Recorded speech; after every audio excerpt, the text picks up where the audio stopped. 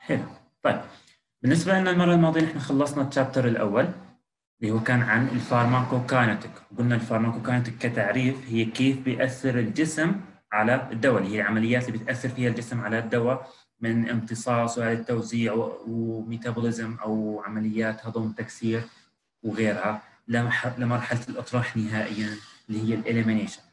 المرحلة الثانية رح نتعرف عليها اليوم لسه ضمن المقدمة اللي هي ال drug receptor interaction وال pharmacodynamics يعني في عندنا عنوانين في عندنا ال drug receptor interaction وفي عندنا ال pharmacodynamics هلا كلمة تعريف ال pharmacodynamics معناها كيف بيأثر الدواء على الجسم يعني عكس ال pharmacokinetics ال pharmacokinetics كان كيف بيأثر الجسم على الدواء. هون لا رح نشوف التأثير من الدواء على الجسم مثل طريقة عمله كيف بيعطي المفعول تبعه وهالقصص هاي. طيب في عندي في عندي سؤال بالنسبة لكم للحاضرين معي اليوم وبتمنى تجاوبوا. حدا منكم عنده فكرة لما نحن ناخذ دواء كيف بيعرف وين مكان لازم يشتغل فيه وبيعطي مفعوله؟ يعني على سبيل المثال معظم أي شخص ممكن يعاني من التهاب بالبلعوم مثلا أو التهاب لوزات أو غيرها. بيروح على الصيدلية بيشتري مضاد حيوي. بيأخذ المضاد الحيوي غالبا حبوب عن طريق الفم وبلش يتحسن. تمام. كيف عرف الدواء مكان التهاب واشتغل عليه على سبيل المثال؟ أو أي دواء ثاني على سبيل المثال. عندكم فكرة عن الموضوع؟ استنى مشاركتكم. معظم الدواء بيروح على الكبد والكبد بيوزع المهام. إجابة مش دقيقة أبدا. لأنه حتى الكبد ما راح يعرف إنه هذا الدواء اللي عنده. تمام. حتى الكبد ما راح يعرف إنه الدواء اللي عنده هو لوين مكانه وين المفروض يشتغل يعني هذا لازم يشتغل على الكلي هذا لازم يشتغل على أي مكان ثاني. عن طريق الدم لما بعد ما يتم امتصاصه. طيب أدق فكرة أدق تمام بيكون ممكن يكون في مستقبلات خاصة. اكزاكتلي exactly. تماما. طيب الفكرة إنه الدواء بحد ذاته ما بيكون عارف وين المكان اللي بده يروح عليه. ما في عندنا دواء ذكي لحد الآن. هو في محاولات في دراسات على الموضوع. حاضر في أدوية متوجهة. إنما اللي بيصير في عندنا إنه بينتشر الدواء بكل الجسم. كل الجسم بدون استثناء أي نسيج بيقدر يوصل له أو أي عضو بيقدر يوصل له عن طريق الدم فهو بيوصل له. إذا لقى ال receptor يلي بده يتفاعل معه أو ال target تبعه طبعا معظم الحالات رح يكون ال target تبعنا receptor لكن مش ب 100% رح يكون الحالات إنه ال target receptor فلما يلاقي ال target تبعه بيتفاعل معه. التفاعل هذا ال interaction هذا هو اللي رح يكون مسؤول عن ال pharmacological effect أو التأثير الدوائي للدواء. فهون بشكل عام كونه معظم ال targets تبعنا رح يكونوا drug receptors رح نتعرف على خواص ال receptors أنواع الريسبتورز ومميزاتهم وبعدين رح نتعرف على تعريف ومصطلحات لها علاقة بال pharmacodynamics وهون رح تصير المصطلحات اللي رح نشوفها بال pharmacodynamics خلينا نشوف لما نقرأ عن الدواء كذا دواء X لا على التعيين. شو معنى مواصفاته نصير كل كلمة نشوفها فيه شو معناها؟ لما نحكي إنه agonist أو antagonist أو partial agonist أو غيرها نشوف شو شو معنى هالمصطلحات الدوائية هاي. فكل هالأشياء هاي المفروض نتعلمها ب chapter 2 إن شاء الله.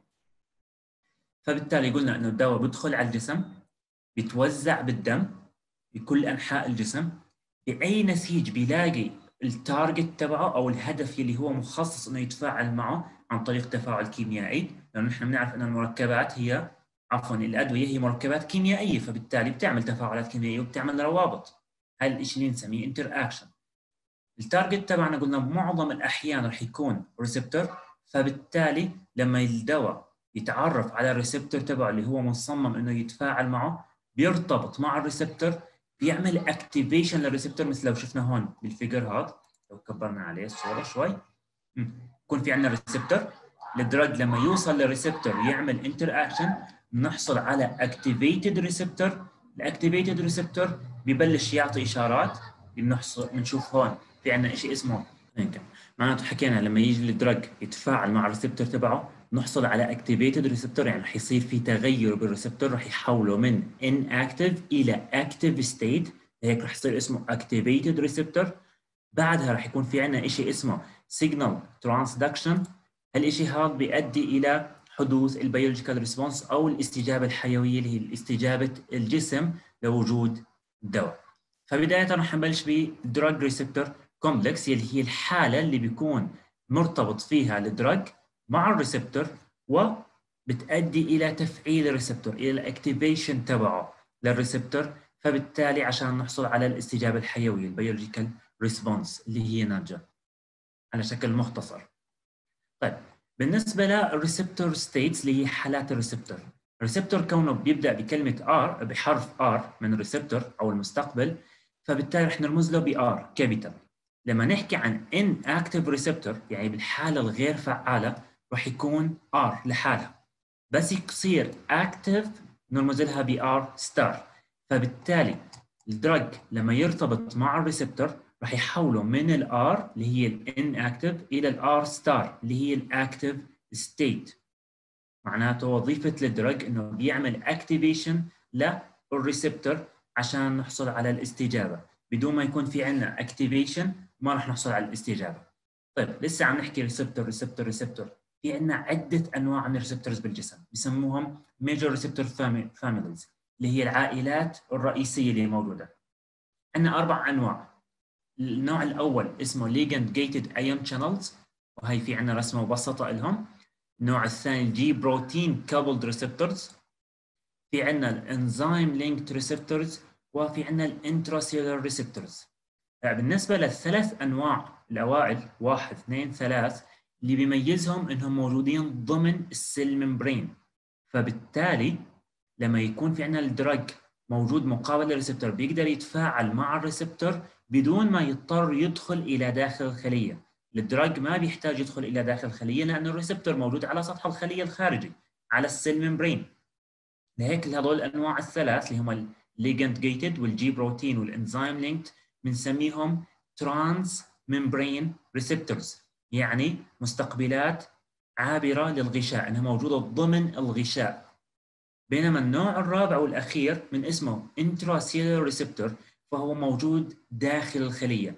معناها الدواء أو ال drug ما بيقدر يتفاعل مع ال receptor إلا حتى يعبر ال cell membrane ويوصل للسيتوبلازم عشان يدور على ال receptor تبعه ويتفاعل معه يلي موجود داخل الخلية بالسيتوبلازم تبع الخلية. فهاي بالنسبة لطريقه التفاعل مع ال receptor إنه ممكن يكون ال drug ما يحتاج يدخل إلى داخل الخلية خارج الخلية. أو ممكن يضطر يدخل إلى داخل الخلية. طيب خلينا نبلش نتعرف عليهم بالتفصيل. كل نوع شو في اختلافات بينه وبين الثاني. بالنسبة للنوع الأول هو ال transmembrane ligand gated ion channels ligand gated ion channels مثل ما شفنا رسمته هون. هلا كلمة ligand gated ion channels gated معناها إنه في عندنا بوابات. ion channels معناها إنه هاي البوابات تتحكم بعبور الأيونات إلى داخل الخلايا. تسمح بدخول أيونات معينة إلى داخل الخلايا لما يصير لها activation كيف بيصير لها activation بس يرتبط ال ligand كلمة ligand هي أي مادة ترتبط بال receptor وبتعمل له activation بنسميها ligand بغض النظر هالماده هاي كانت endogenous ولا exogenous يعني إن كانت من داخل الجسم أساسية مادة طبيعية ولا كانت من خارج الجسم مادة جاية من الغذاء أو جاية من دواء أو غيره فأي مادة ترتبط مع ال receptor وبتعمل له activation بنسميها ligand معناته القنوات اللي موجودة هون قنوات الأيونات اللي موجودة هون ما بتنفتح أو بتغلق إلا بتأثير ارتباط مادة معينة مع ال receptor عشان تعمل له activation من هون اجى اسمها ligand gated ion channels مثال عليها ك example في عندنا ال cholinergic nicotinic receptors هلا بالنسبة لو درسنا فيسيولوجي وتذكرناها للفسيولوجي أنا ركزت على موضوع الفسيولوجي هي أساس ال pharmacology صح؟ طيب. بالفسيولوجي تذكرنا إنه في كان عندنا ال autonomic system autonomic nervous system يلي بنقسم إلى نوعين لادرينرجيك وكولينرجيك الادرينرجيك الريسبتورز أساسيين بنقسم فيهم ل alpha و beta وال cholinergic بنقسمه ل muscarinic و nicotinic. بالنسبة لل nicotinic receptors هم من نوع ligand gated ion channels فبالتالي تحفيز هال receptors هاي أو ال activation تبعها بيؤدي إلى انفتاح قنوات معينة بتؤدي إلى دخول بعض الأيونات من خلال هالقنوات اللي موجودة هون. هي بالنسبة للنوع الأول اللي هو ال transmembrane ligand gated ion channels طيب بالنسبة لل activation هلأ ال receptor رح يصير له activation لكن كنتيجة يا ترى هل دائما تفعيل هالقنوات هاي رح يؤدي إلى حدوث activation ضمن الخلية نفسها؟ مش بس ال receptor الخلية كاملة. ولا ممكن تكون activation أو inhibition لا بيقول لك انه هاي ال receptors ممكن تكون تعمل stimulation ممكن تعمل inhibition فممكن تكون inhibitory أو ممكن تكون stimulatory على سبيل المثال stimulation of nicotinic receptors by acetylcholine result in sodium influx and potassium outflux generating an action potential in neuron or contraction in skeletal muscles يعني ارتباط ال acetylcholine اللي هو مادة طبيعية موجودة من داخل الجسم neurotransmitter ناقل عصبي.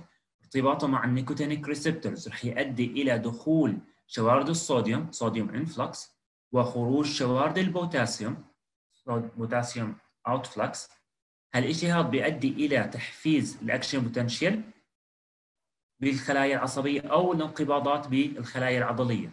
فمعناته هون يعتبر stimulation اللي هي تحفيز. لكن بالجهة الأخرى على سبيل المثال agonist stimulation of gamma aminobutyric acid أو اختصارا GABA receptor اللي موجود بال CNS كمان increase chloride influx بيزيد من دخول شوارد الكلور إلى داخل الخلية. شوارد الكلور تحمل شحنات سالبة مثل ما بنتذكر. فبالتالي دخول الشحنات السالبة إلى داخل الخلية يؤدي إلى حدوث hyperpolarization hyperpolarization أو فرط الاستقطاب بيؤدي إلى ال inhibition فبالتالي ال GABA receptor يعتبر inhibitory receptor إنه بس يصير له activation بيؤدي إلى دخول شوارد الكلور إلى داخل الخلية يلي بتعمل hyperpolarization يلي هو معناها عكس ال action potential انها ما راح تنشأ جهد فعل فبالتالي ما راح يصير في عندنا شحنات أو تنبيه عصبي فبالتالي hyperpolarization طبعا بالنسبة لل GABA أو ال inhibitory receptors بشكل عام بغض النظر إن كانت GABA أو غيرها على سبيل المثال في عندنا ال local anesthetics يعني أي مخدر موضعي بتكون على شكل مثلا كريم أو جل تنحط على الجلد على سبيل المثال وبتعطي تأثير مسكن الالم أو مزيل الألم بالموضع فقط مطرح ما انحطت locally فال local anesthetics كلهم بيشتغلوا على هالشيء هذا. اللي هو إنهم يشتغلوا على ال ligand gated ion channels طيب بالنسبة لل local anesthetics بقول لك bind to voltage gated channels sodium channels inhibiting sodium influx and decreasing neuronal conduction. معناته ارتباط ال local anesthetics مع ال ligand gated ion channels بيمنع دخول الصوديوم إلى داخل الخلايا فبالتالي بيمنع حدوث ال action potential وبيقلل من نشاط الخلايا العصبية اللي هي بتنبهنا لوجود الألم. طيب هاي النوع الأول. النوع الثاني اللي هو ال transmembrane برضه لأنه موجود ضمن ال cell membrane G protein coupled receptor G protein coupled receptor هذا ال receptor ما بيكون شيء بسيط بس مثل بروتين واحد بنشوفه بترتبط فيه ال ligand بيفتح القناة اللي بتكون موجودة ضمن نفس البروتين وخلص خلص الموضوع لا ال receptor هون بيكون شكله أعقد بحيث بالبداية ضمن ال membrane ال cell membrane بيكون في عندنا ال receptor بشكله الاساسي وال receptor هذا بيكون في اتصال بينه وبين بروتين معين. هالبروتين هيو اللي هون باللون الأزرق بنسميه G protein. اتصال الدرج أو الليجند مع الريسبتور والاكتيفيشن يلي بيصير راح يؤدي إلى حدوث تغيير بشكل ال receptor. هي إذا شايفين مثلا هون مثلها بهالدائرة الصغيرة اللي هون. يلي هي دلالة على ال activation. ال activation بال receptor راح تغير شكل ال G protein. ال G protein مصنوع من ثلاث وحدات. subunits 3 subunit بنسميهم ألفا وبيتا وجاما. يلي بيحدث إنه بيتا وجاما وظيفتهم هم تثبيت ال G protein بمكانه جنب ال receptor بينما الألفا هي وحدة متحركة. فنتيجة ال activation بتحول ال GDP اللي موجود اللي هو ال guanosine diphosphate بيتحول إلى GTP تحول إلى triphosphate وبصير الألفا قادر على الانتقال من مكانه إلى مكان آخر عشان ينقل التنبيه إلى receptor آخر أو إلى بروتين آخر أو إلى target آخر لا على التعيين حسب نوع ال receptor أو حسب نوع الخلية اللي عم نحكي عنها. فبالتالي هالتفاعل هذا بين الألفا subunit و البروتين الآخر أو ال target الآخر ال target رقم اثنين هو يعتبر نقل إشارة من ال receptor الاساسي اللي هو ال G protein coupled receptor إلى secondary messenger مثلا إلى مرسال ثاني. فهو بيكون في عندنا الإشارة ما بتنتج مباشرة عن تأثير ال receptor مباشرة رح يصير activation receptor تدخل ايونات ونحصل على effect مثل النوع الأول. لا هون العملية رح تأخذ وقت أطول. ف ليش؟ لأنه بيكون في عندنا activation للبروتين والبروتين بده ينتقل من مكانه إلى مكان آخر عشان ينقل الرسالة أو ال activation بعد زوال ال activation بترجع الالفا subunit إلى مكانها بترجع ترتبط ببيتا وجاما مثل ما كانت بالوضع الأول.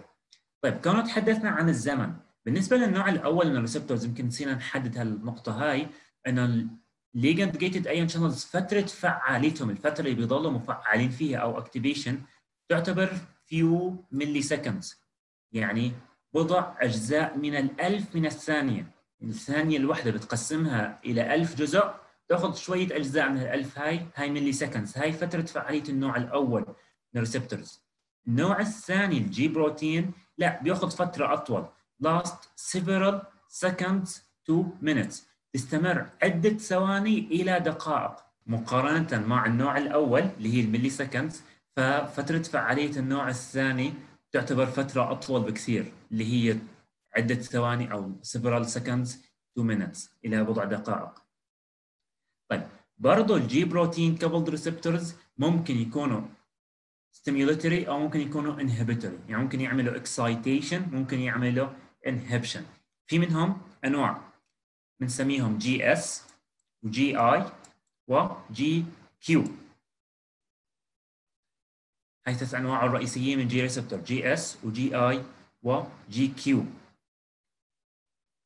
على سبيل المثال لو أجينا على الجي إس والجي آي common effector activated by GS معناته GS تعتبر تعمل activation بينما inhibited by GI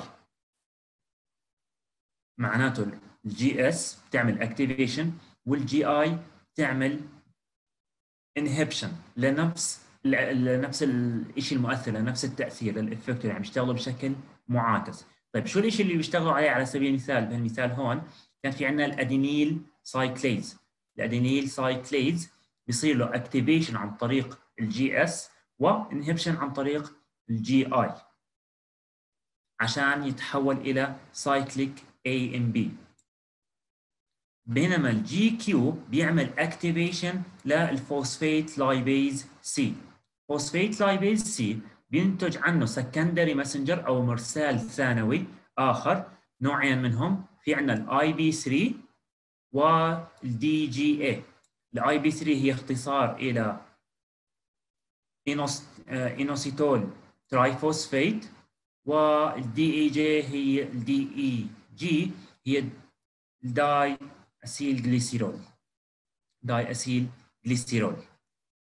فهي بالنسبة للنوع الثاني اللي هو ال G protein coupled receptors معناته عندنا الجي اس والجي اي هم عكس بعضهم. ال Gs activation Gi inhibition لنفس الشيء اللي هو ال adenylyl cyclase Gq بيعمل activation ل secondary messenger مختلف. هو مش ال adenylyl cyclase لا لل IP 3 وال DAG بالنسبة للنوع الثالث من ال receptors أو العائلة الثالثة اللي هي ال enzyme linked receptors ال enzyme linked receptors المبدا نوعا ما مشابه لمبدأ عمل ال G protein coupled receptor بحيث أنه ما راح يكون ال activation ضمن الخلية أو الاستجابة الحيوية ناتجة مباشرة عن ال activation لل receptor لا ال receptor راح يعطي تنبيه لشيء ثاني موجود لكن بدل ما يكون بروتين راح يكون انزيم هالمرة هاي.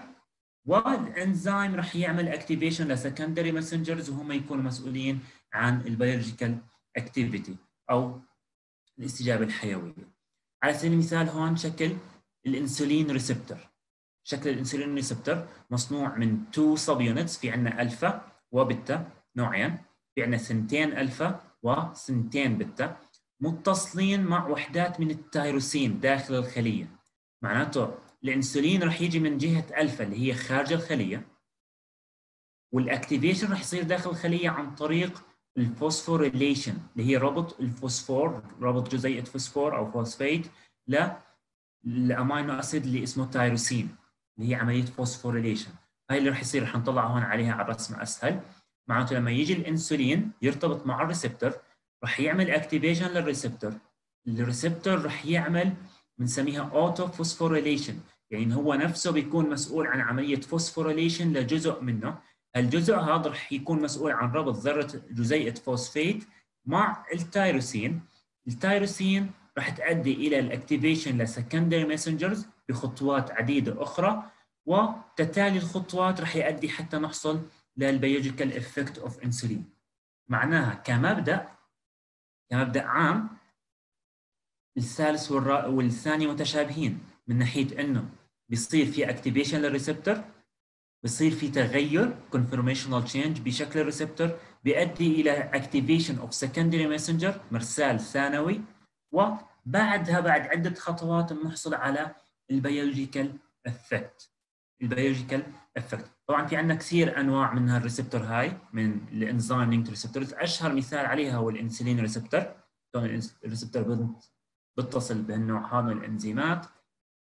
وبالنسبة لفترة عملها فهي بتتراوح من دقائق إلى ساعات.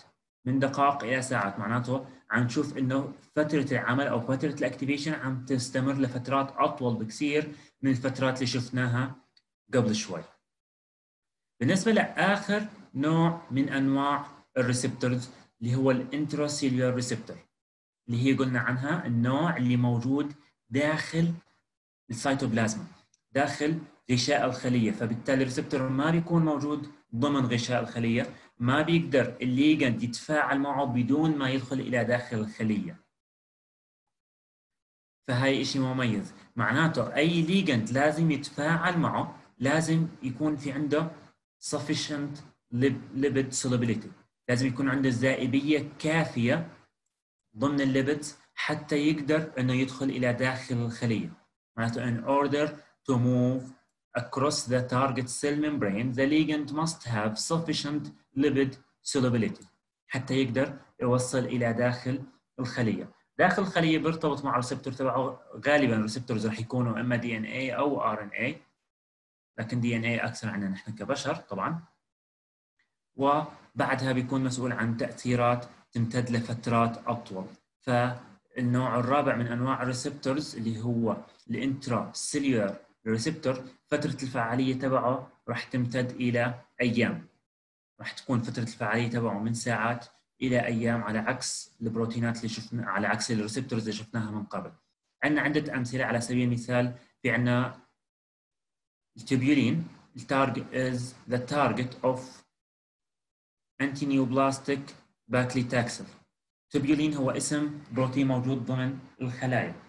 إذا متذكرين إن كان بال biochem أو إن كان بالبيولوجي أو بأي مادة تعلمتوها tubulin هو أحد البروتينات اللي بتحافظ على بناء الخليه بنسميها structural proteins بتحافظ على ال structure تبع الخليه فضمن الخلايا السرطانية البروتين هذا بيؤدي إلى دعم هيكلية الخلية عشان تحافظ على حجمها لأنه بتكون هي خلايا أكبر من الحجم الطبيعي.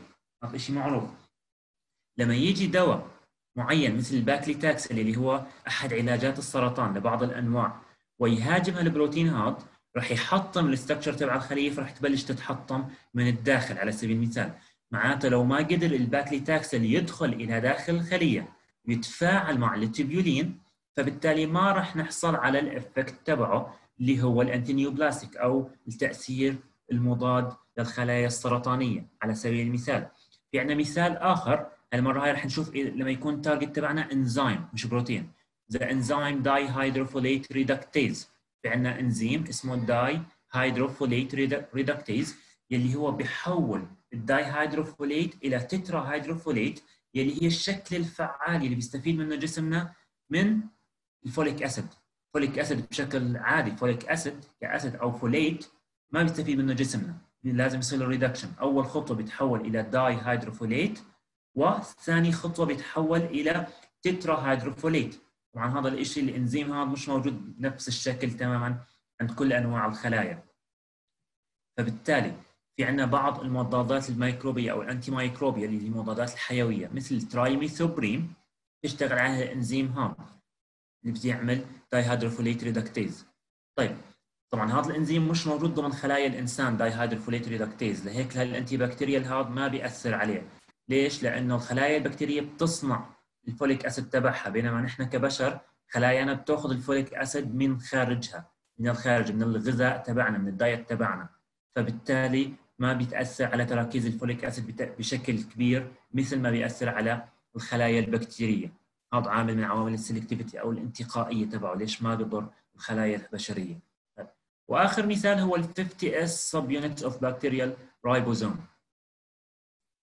طيب الرايبوزوم مثل ما تتذكروا هي الوحدة الأساسية بالخليه لبناء البروتينات مسؤولة عن بناء البروتينات.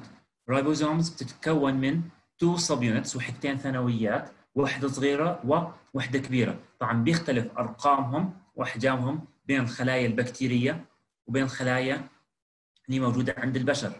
فبالتالي بالنسبة للوحدة الكبيرة منهم اللي هي بنسميها 50 s subunit اللي موجودة بال bacterial ribosomes هي بتكون ال target لل macrolide macrolide antibiotic sorry macrolide antibiotic مثل الارثرومايسين أو غيرهم.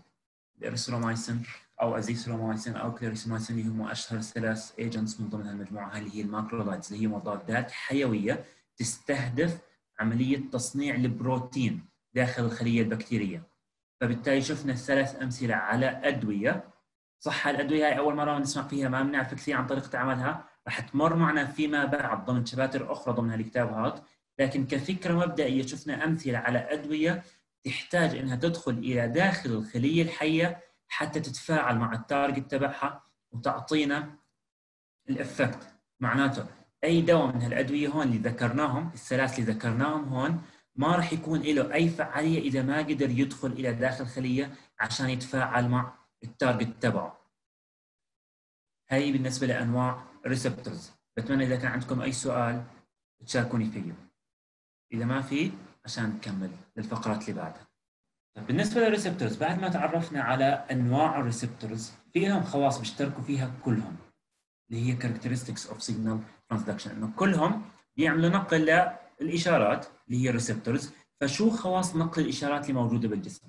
أول خاصية عندنا إياها هي اسمها signal amplification اللي هي القدرة على تضخيم الإشارة بحيث لو حكينا مثلا عن ال G protein coupled receptors على سبيل المثال أو حتى ال linked ال enzyme linked receptors الاثنين شفنا إنه ال ligand بيرتبط مع ال receptor ال receptor بيعمل activation ل secondary messengers مرسالات ثانوية و secondary messengers بتروح بتروح تتفاعل مع أكثر من target ضمن الخلية. فبالتالي ال signal يلي بلشت من receptor واحد رح يكون لها تأثير أضخم.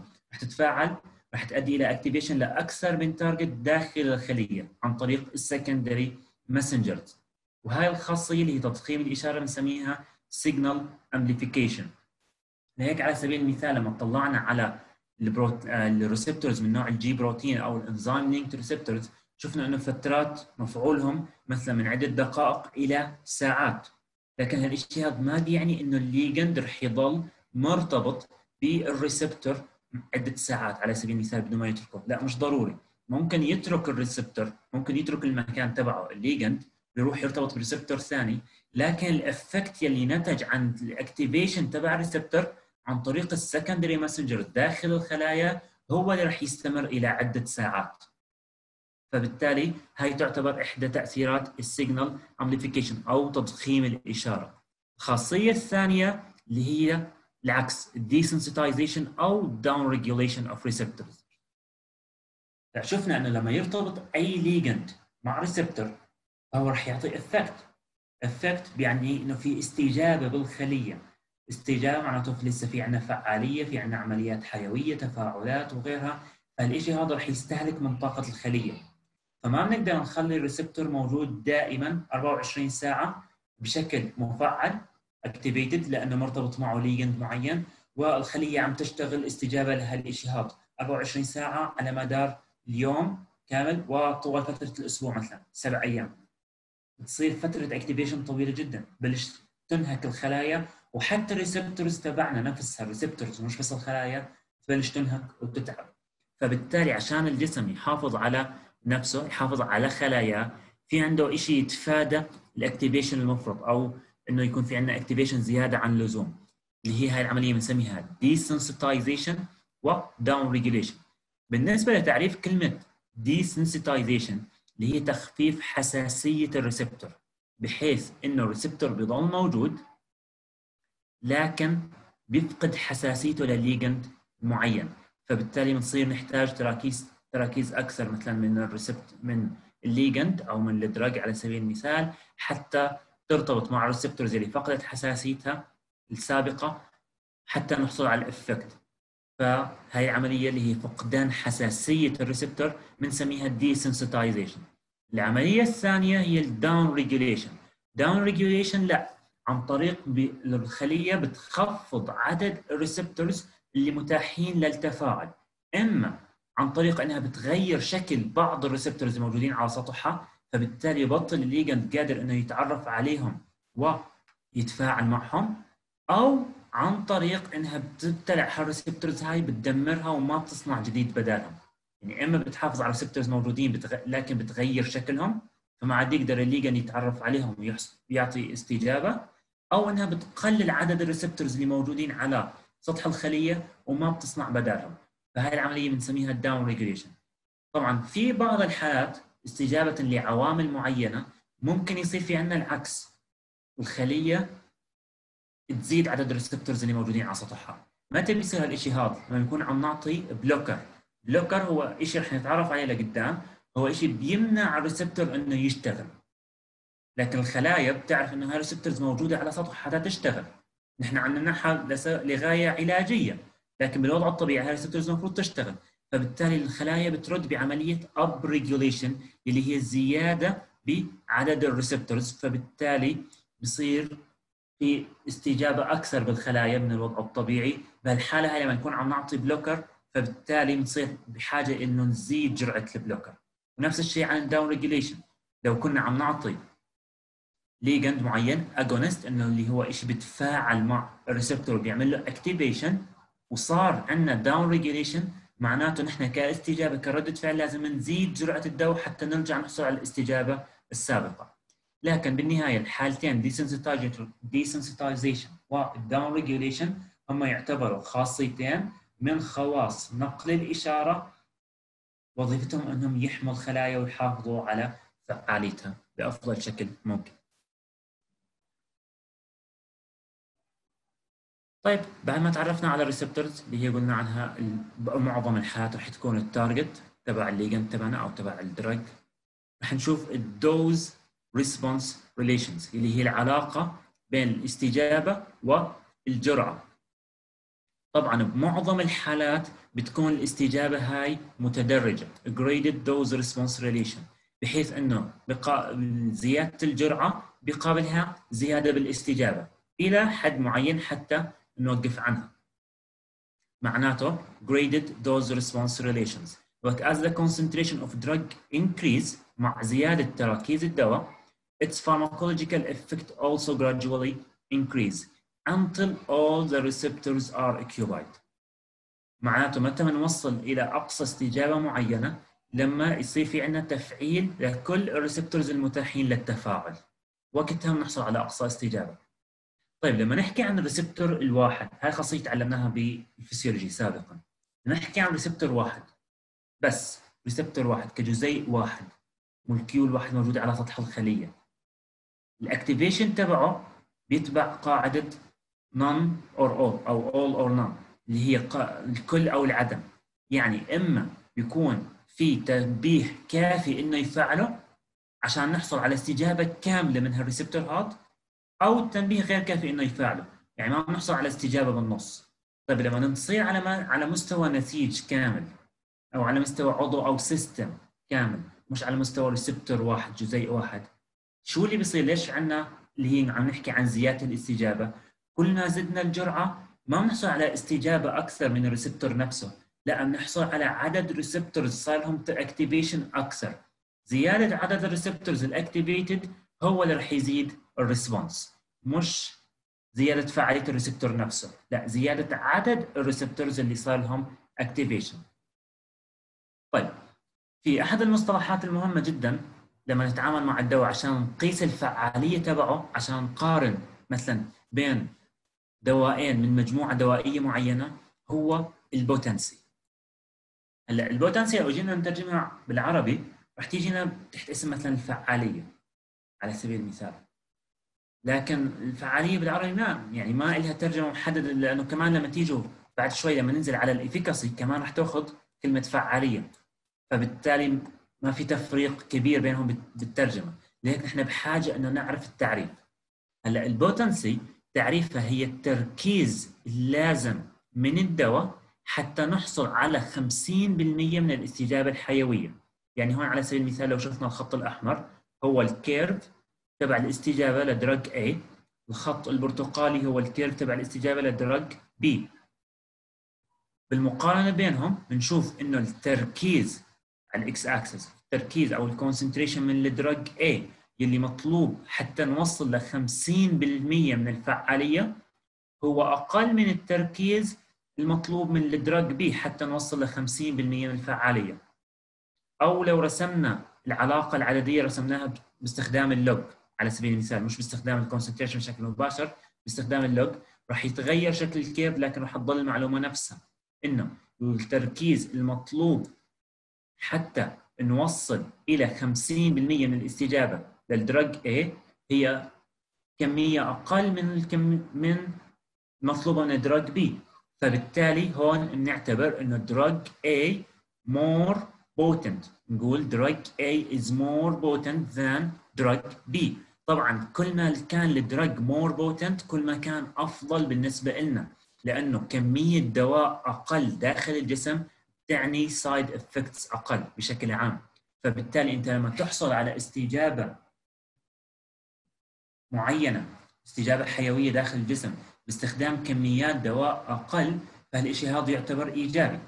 على سبيل المثال لو إجينا على مثالين من أدوية الضغط في عندنا ال candesartan وال irbesartan طبعا هذول الاثنين كانوا منتهى مقطع sartan فهو من أي مجموعة؟ آه أوكي معظمكم ما بيعرف. حدا بيعرف من أي مجموعة دوائية هذول؟ ولسه ما تعلمنا هذا أنا تذكرت ما كان لازم أسأل السؤال هذا. مش مشكلة. لا إن شاء الله بس نخلص المقدمة. رح ناخذ chapter عن كمان أمثلة دوائية اللي هم ال cholinergic وال adrenergic وبعدهم إذا زاد معنا وقت رح يكون أول chapter ناخذه هو ال hypertension اللي هو أدوية الضغط. طيب من ضمن هالأدوية هاي في عندنا دوايين على سبيل المثال ال candesartan وال irbesartan لهم نفس آلية العمل نفس ال mechanism of action لكن ال candesartan التراكيز العلاجية منه اللي بتعطينا effect علاجي كافي therapeutic effect تتراوح بين 4 إلى 32 ملي جرام الجرعه هاي ال therapeutic dose بينما لو إجينا على ال irbesartan فال therapeutic dose تبعه أو الجرعة العلاجية تبعه بتتراوح من 75 إلى 300 ملي جرام فالشيء هذا بيعني إنه ال candesartan more potent than irbesartan فبالتالي من الناحيه النظريه نظريا. لما يكون ال drug more potent معناته نحن عم نحصل على effect أفضل باستخدام كمية دواء أقل فبالتالي ال side effects المفروض تكون أقل. من الناحيه النظريه لهيك نحن بنفضل الادويه تبعنا تكون potent قدر الإمكان عشان تقلل من كميات الدواء اللي حتدخل على الجسم. وكمان مثلا لو كان دواء رح يصير له metabolism داخل ال liver على سبيل المثال اللي هي إحدى العمليات اللي حكينا عنها المرة الماضية. لما يكون في عندنا كميات دواء أقل عم تدخل بالجسم معناته جهد أقل على ال liver هو يعمل عملية ال metabolism. ما راح يحتاج نفس الجهد لما تكون كميات أكبر من الدواء. فهي إيجابية ال potency وهي تعريفها. معناته التركيز المطلوب حتى نحصل على 50% من الاستجابة للدواء هي تعتبر ال potency. طيب الاستجابة كاملة للدواء اللي هي أقصى حد من الاستجابة بيوصل له هو اللي بنسميه efficacy. ال efficacy هي ال magnitude of the response يعني شدة الاستجابة. بغض النظر عن الجرعه اللي بيحتاجها الجسم حتى يحصل على أقصى استجابة. لكن ما دام بيوصل لأقصى استجابة معينة فهي efficacy فلو طلعنا على ال curve هون ال figure هون. عندنا drug A بيوصل إلى استجابة تقريبا 100% تقريبا. drug B كمان بيوصل لنفس الرقم تماما. فبالتالي ال drug A وال drug B يعتبر لهم نفس ال efficacy لأنهم بيوصلوا إلى نفس نسبة الفعالية اللي هي ال biological effect اللي هي 100% لكن لما نرجع لعند ال potency منشوف إنه لا ال drug A بيحتاج تراكيز أقل من ال drug B حتى يعطينا فعاليه فبالتالي drug A more potent than drug B. معناته ال efficacy وال potency مش مرتبطين ببعضهم البعض. ال efficacy بتعتمد على النسبة النهائية من الاستجابة للدواء. فمعناته ما دام الدواء عم يوصل 100% إن كان A أو B فبالتالي نعتبر لهم نفس ال efficacy ال potency لا ال potency بتعتمد على الكمية المطلوبة حتى نحصل على الاستجابة هاي. لو اطلعنا على ال drug C على سبيل المثال فهو ما بيعطينا استجابة 100% استجابته أقل وال potency تبعه أقل بكس... أعلى بكثير بحيث أنه ما يعني بيحتاج كميات كبيرة جدا مقارنة ب A حتى نحصل على نفس الم... على نصف المفعول تبعه 50% تبعه واساسا هو ما بيوصل ل 100% فلو قارنا معناته دراج A and B more efficient than C لهم نفس الافشنسي ولهم اعلى efficiency من C بينما البوتنسي A رح يكون اعلى من B معناته drug A is more potent than drug B but both show the same efficacy drug C shows lower potency and lower efficacy than A and B فهاي هي فكره ال potency وال efficacy طبعا هذول المصطلحين مهمين جدا أنه نكون عارفينهم لما بدنا نتعرف على المجموعات الدوائية وخصوصا لما نبلش نقارن بين أدوية من نفس المجموعة الدوائية. ال potency وال efficacy مصطلحين مهمين أنه نكون عارفينهم ونميز بيناتهم عشان يساعدونا بالمقارنة. لهون في بعض الأشياء لها علاقة بالحسابات وهالقصص هاي. خلونا نمشي عنها عشان ما لها أهمية كثير. الحسابات لأنه في مواد ثانية للحسابات فيما بعد يعني. طيب بالنسبة لطبيعة تفاعل ال drug أو ال ligand بشكل عام مع ال receptor رح نشوف إنه في عندنا كثير أنواع من التفاعلات. أول نوع من التفاعلات أو أول نوع من ال drugs بنسميه ال full agonist. شو معنى full agonist؟ معناها إنه ال drug بيرتبط مع ال receptor if a drug binds to receptor and withdraws a maximal biological response mimics the response of the endogenous ligand. وعن نحن بنعرف إنه ال receptors هاي اللي موجودة بجسمنا للأدوية عم تتفاعل معها. هي مش receptors بس انوجدت بجسمنا أو انخلقت بجسمنا عشان تضل قاعدة وتستنى الدواء لا في إلها endogenous ligands مواد داخلية أساسا مصنوعة عشان تتفاعل معها. ال full agonist هو أي دواء بيتصل مع ال receptor هذا وبيعطينا أقصى استجابة ممكنة بتحاكي أو بتشابه. هيها mimics بتحاكي استجابة ال receptor للمواد الداخلية اللي موجوده داخل جسمنا أساسا. فمثلا لما نحكي عن adrenergic agonist مثلا معناها agonist بيتفاعل مع ال adrenergic receptors بيحاول إنه يرتبط فيهم ويعطينا أقصى استجابة ممكنة مثل لما يرتبط الأدرينالين بال adrenergic receptors على سبيل المثال. فهاي معناها full agonist معناته لما نحكي عن drug معين من أي مجموعة دوائية نحكي عنه إنه هو agonist أو full agonist معناها إنه هو بيعطي أقصى استجابة ممكنة. فهي هون مرسومه بالرسم بالخط الأحمر full agonist إنها بتعطي أقصى استجابة ممكن لحد 100% نيجي لعند نوع ثاني من الأدوية. اللي هي ال partial agonist partial agonist بترتبط بال receptor وبتعطينا فعالية activation لكن ما بتوصل نسبة الفعاليه هاي ل 100% ابدا مهما زدنا جرعة الدواء ما بتوصل للاستجابة مثل ما إحنا شايفين هون بالخط الأزرق ما بتوصل ل 100% معناته partial agonists have intrinsic activity greater than zero أكبر من صفر فعاليتهم لما يرتبطوا بالريسبتور بيعطونا فعالية أكبر من الصفر.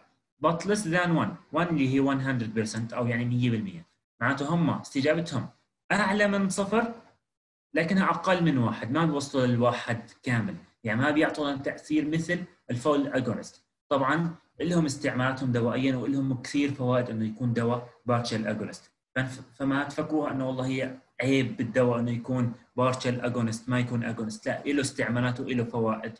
بكثير من الحالات إنه نستعمل partial agonist بدل full agonist طيب النوع الثالث من ال agonist inverse agonist هلأ بالعادة ال receptor بيكون لو ما يرتبط فيه ligand بيكون بال R state اللي هي ال inactivated state فبالتالي ما بيعطي أي مفعول ما بيعطي أي استجابة ما بيعطي أي تأثير بخلايا الجسم. لكن في عندنا بعض أنواع ال receptors بتعطي تأثير معين فعالية معينة. لو كانت بنسب قليلة لكن لها فعالية معينة بغياب ligands بدون أي ligand هي من هي من ذاتها تلقائيا بتعطينا فعالية. بنسميها intrinsic activity فعالية داخلية منهم أساسا. لما يرتبط inverse agonist ب receptor فهو بيمنع حدوث الفعالية الذاتية. وبيمنع أي agonist إنه يرتبط فيه. ليش؟ لأنه ال receptor رح يكون مشغول. رح يمنع ارتباط ال agonist فبالتالي بتكون فائدته إنه بيمنع الفعالية من ال receptors هي ال inverse agonist typically unbound receptors are inactivated بالوضع الطبيعي أو العادي.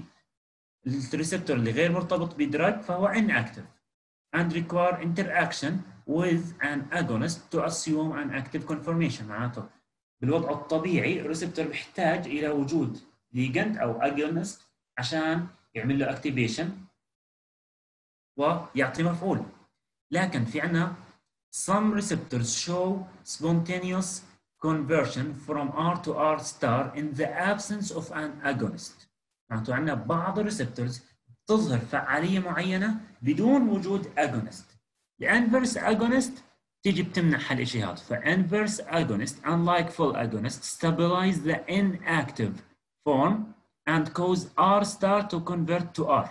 معناتها بترتبط مع ال receptor أي receptor بحالة ال R اللي هي ال inactivated بثبتها بمنعها يصير لها activation وأي receptor بحالة ال R star اللي هي ال activated بيحوله إلى inactive وبثبته هالشيء هذا. فبالتالي inverse agonists have an intrinsic activity less than zero. فعالية داخلية أقل من صفر لأنهم بينزلوا على رقم سالب لأنهم بيمنعوا الفعالية اللي موجودة من ال receptor حتى بغياب agonist من ناحية نظرية نظريا فهاي بالنسبة لثلاث أنواع agonist. النوع الرابع من الأدوية هو ال antagonist. ال antagonist لا هي المعاكس. antagonist binds to a receptor with high affinity but possesses zero intrinsic activity. معناته هي بترتبط مع ال receptor وكونه عليها high affinity تعريف ال affinity هي قابلية الارتباط أو قوة الارتباط بين ال drug وال receptor على سبيل المثال أو هي بين أي subst بين ligand و substrate بين أي ligand و substrate قوة الارتباط بيناتهم أو قابلية الارتباط بنسميها affinity فبالتالي ال antagonist بيكون لهم قابلية ارتباط عالية جدا مع ال receptors بيرتبطوا معهم لكن بيمنعوهم يصير لهم activation فبنسميهم antagonist. معناته antagonist has no effect in the absence of an agonist but can decrease the effect of an agonist when present. معناته لو اعطينا antagonist لحاله على الجسم راح يعطينا الحالة إنه كأنه ما في أي agonist مرتبط بال receptor راح يثبت ال receptors على حاله ال inactive بوجود ال agonist لما ينوجد ضمن الجسم agonist و antagonist مثلا على سبيل المثال لما يكون ال agonist هو مادة طبيعية داخل الجسم endogenous فهي دائما موجودة. ونروح نعطي نروح نحن نعطي دواء antagonist من خارج الجسم. فهون رح يكون تأثير ال antagonist إنه رح يخفف من فعالية ال agonist ليش؟ لأنه رح يصير يقلل عدد ال receptors المتاحين للتفاعل مع ال agonist طبعا مثل ما الان مثل ما ال agonist كان لهم أنواع كان في منهم ال full agonist ال partial agonist وال inverse agonist كمان ال antagonist لهم أنواع. في عندنا ال competitive antagonist في عندنا ال irreversible antagonist ال allosteric antagonist وال functional antagonism أو antagonist. نتعرف عليهم. هلا بالنسبة لل competitive antagonist معناها انه ال antagonist راح يتنافس مع ال agonist على نفس موقع الارتباط. راح يرتبطوا بنفس ال receptor وعلى نفس موقع الارتباط ضمن ال receptor اللي هو ال binding site معناته if both the agonist and antagonist bind to the same site on the receptor in a reversible manner they are said to be competitive. معناته أول خاصية إنه ال antagonist هذا بينافس ال agonist على نفس موقع الارتباط وثاني خاصية إنه نوع الارتباط بين ال receptor وبين antagonist بيكون reversible يعني قابل للعكس يعني ما بيضل مرتبط فيه ب coval ب covalent bonds اللي هي الروابط القوية اللي ما بتنكسر. لا بتكون روابط مؤقتة وبعدين ال antagonist بترك ال receptor لحاله ضمن فترة زمنية معينة بترك ال receptor لحاله. فهي تعتبر competitive antagonist ال irreversible antagonist هي بتتشارك مع اللي قبلها بأنه ال antagonist هون رح ينافس على نفس موقع الارتباط لكن الاختلاف رح يكون نوع الرابطة بين ال antagonist وال receptor الرابطة رح تكون هون irreversible غير قابلة للعكس اللي هي بتكون covalent bond. معناته irreversible antagonists bind covalently to the active site of the receptor. فبالتالي هون أي receptor بيرتبط مع irreversible antagonist رح تصير الرابطة الدائمة ما دام ال receptor موجود وفعال قابل للعمل فهو ال antagonist مرتبط فيه بشكل irreversible مانعه إنه يرتبط مع أي agonist آخر ويصير له activation ومانعه يعطي مفعول. فبالتالي راح يقل عدد ال receptors اللي متاحين للتفاعل. هاي بالنسبة للنوع الثاني. الأول والثاني معناته بتشاركوا بإنهم الاثنين بيرتبطوا بنفس ال active site أو ال binding site اللي بيرتبط فيه ال agonist. ال allosteric antagonist هون ال antagonist رح يرتبط بنفس ال receptor تبع ال agonist لكن بموقع مختلف ب binding site مختلف. ارتباط ال antagonist مع ال receptor بشكل allosteric رح يؤدي إلى تغير شكل ال receptor فبالتالي بصير ال agonist غير قادر على الارتباط فيه.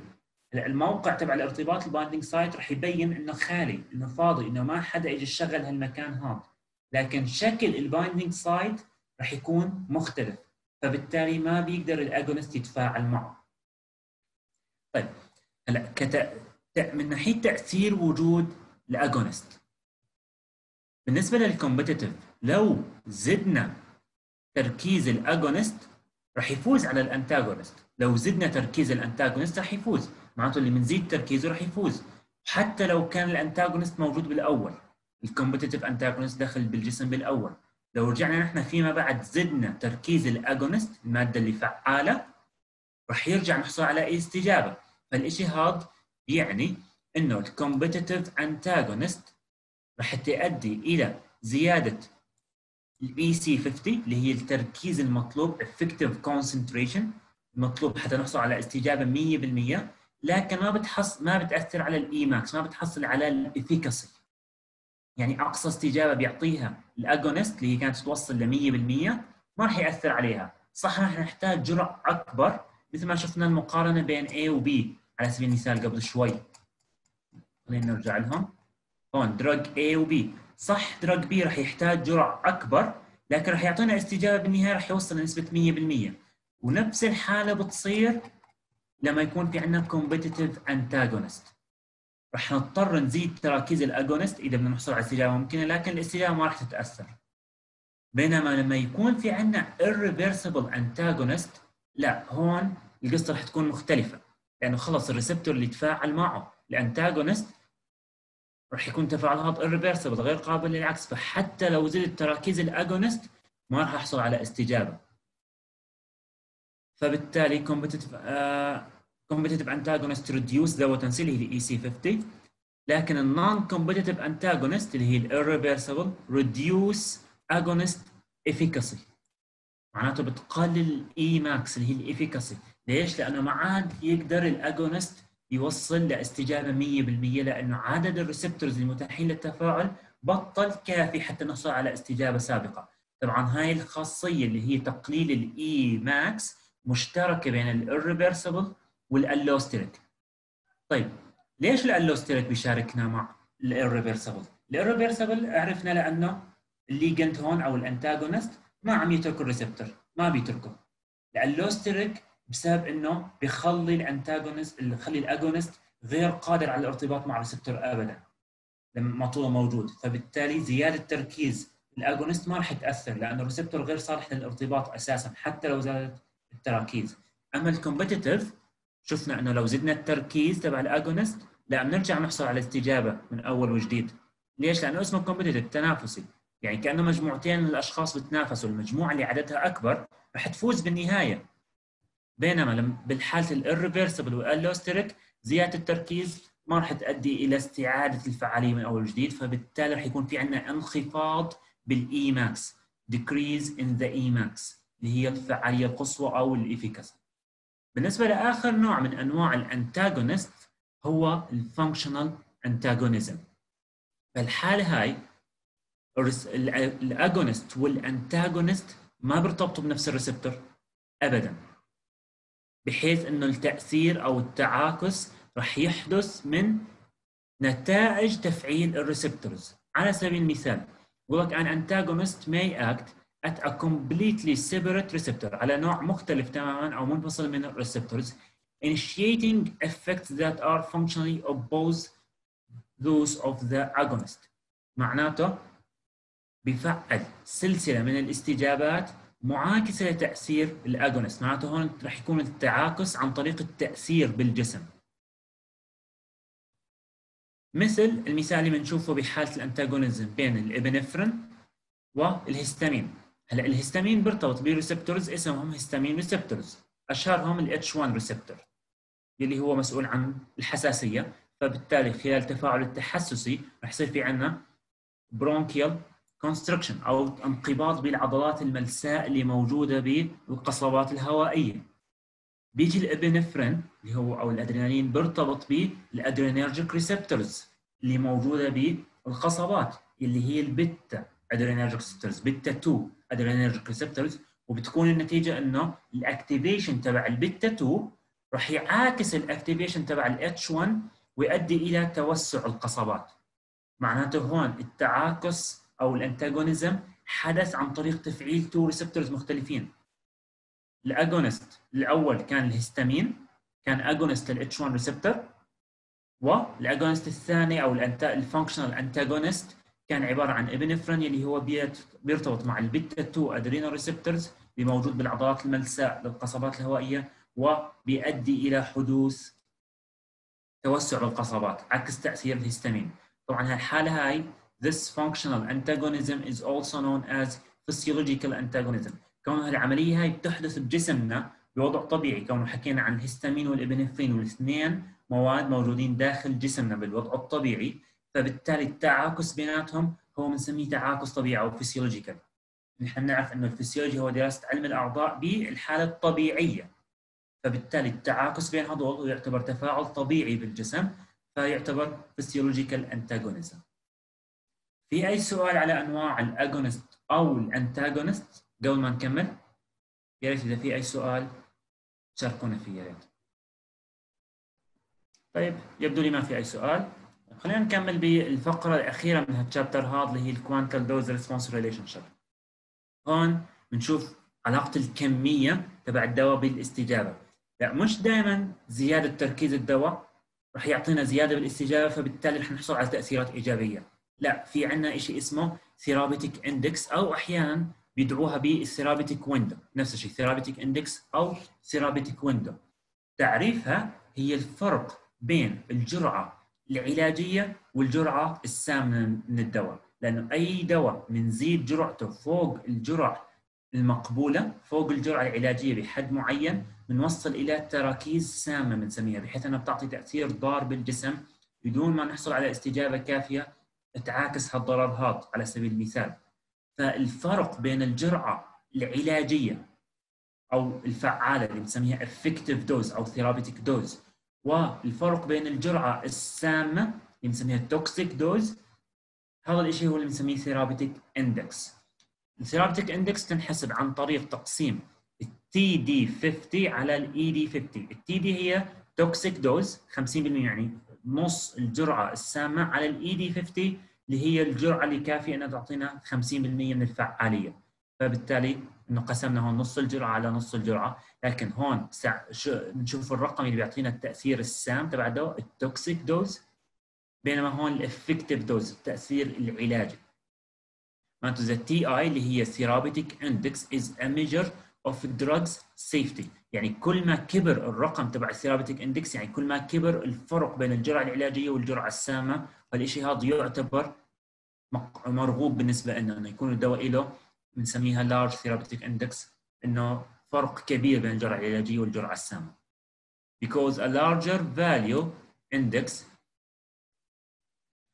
اللي هي بتعني إنه في عندنا wide margin between doses that are effective and doses that are toxic. معناته بكون في عندنا هامش كبير أو فرق كبير بين الأدوية اللي بين الجرعة العلاجية والجرعة السامة. طيب خلينا نشوف مثالين بشكل علاجي مثالين كأسماء أدوية على ال therapeutic index. أول مثال رح نشوفه هو narrow therapeutic index أو بنسميها small إما بنسميها narrow أو small therapeutic index اللي هو الوارفرين. الوارفرين دواء معروف مميع للدم. الفرق بين جرعته العلاجية وجرعته السامة قليل جدا. فبحيث لو شفنا على ال curve هون ال curve هون ممكن تعتبره هي الوارفرين. الخط الأخضر هو ال therapeutic dose الخط الأحمر هو ال toxic dose اللي هي ال unwanted adverse effects نشوف إن المسافة بينهم قريبة جدا. فلهيك نعتبرها small therapeutic index بينما لو اجينا على مثال آخر اللي هو البنسلين البنسلين اللي هو المضاد الحيوي القديم اللي من مجموعة ال beta lactams تعتبر نسميها large therapeutic index يعني فرق كبير بين المسافة بين الخط الأخضر والخط الأحمر راح نشوف هنا أكبر بكثير من المسافة اللي موجودة عند الوارفرين. فبالتالي هون بنشوف إنه الدواء ال safety تبعه أعلى. لأنه بقدر أزيد الجرعة بأمان أكثر وأنا ضامن إنه زيادة هالجرعة ما راح توصلني للتأثيرات السامة. فهي الفرق بين ال small therapeutic index وال large therapeutic index طبعا كون الوارفرين small therapeutic index ما بيعني هالشيء هذا انه الوارفرين صار دواء سيء وما راح نستعمله نحن للمرضى ابدا. لا بالعكس بيضل دواء مهم بعلاج كثير من الحالات المرضية ونحن بنستخدمه ما زال مستخدم لحد الآن بالسوق وأحد أكثر الأدوية المميعة بالدم مبيعا. ليش؟ كونه رخيص. تكلفته رخيصة على المريض فبالتالي سهل جدا إنه نوصفه وفعاليته مضمونة كمان الوارفرين فبالتالي مع أخذ الأخذ بعين الاعتبار إنه narrow therapeutic index أو small therapeutic index فبالتالي لازم نعطيه للمريض بحذر. نأكد عليه يكون الجرعة تكون مناسبة للجسم ما يزيد الجرعة. ما يصير في مثلا إنه يأخذ الحبة مرتين لو شك بإنه جرعة مش مأخذها لا ما يأخذ. مشان ما يصير في عنده الخطر الخطر إنه يأخذ الجرعة مرتين على سبيل المثال هو مش منتبه. كل هالتنبيهات هاي نعطيه إياها لكن بضل الوارفرين دواء فعال. بينما لما نتعامل مع دواء مثل البنسلين إله large therapeutic index صح التعامل بيكون أسهل وأمن للمريض لكن برضه هالشيء هذا يعني إنه الدواء فهي بالنهاية الفرق بين ال small therapeutic index وال large therapeutic index وهيك بنكون خلصنا ال chapter طبعا كالعادة بكل نهاية تشابتر في بالكتاب في عندنا ستدي كويستشنز اللي هي بتكون عبارة عن أسئلة محطوطة من الكتاب عن فقرات درسناها المفروض. بيكون في إجابات وبالنهاية هون بالمستطيل بنلاحظ إنه في عندنا الإجابة الصحيحة مع التعليل. ليش هي الإجابة الصحيحة؟ شو الفرق بينها وبين الإجابات الخاطئة؟ فطلعوا عليهم إذا كان عندكم وقت بيعطوكم فكرة مهمة عن الشابتر عن أي شيء ما شرحناه لأنه مرينا بسرعة نوعا ما على الشابتر هذا. ما وقفت لكم كثير عند المصطلحات النظرية فممكن تكون هالشيء هون الأسئلة هاي اللي هي study questions ممكن تكون شيء مفيد لكم و خلصنا اليوم ما راح ابدا لكم chapter جديد. خلينا نوقف هون chapter واحد بكفي. راح نفتح المجال لأي سؤال أو أي استفسار عندكم. بالتوفيق إن شاء الله. بتمنى لكم كل التوفيق. بس تنزل محاضرة على اليوتيوب. بشارك لكم الرابط على المجموعة ونشوفكم الأسبوع الجاي إن شاء الله. السلام عليكم.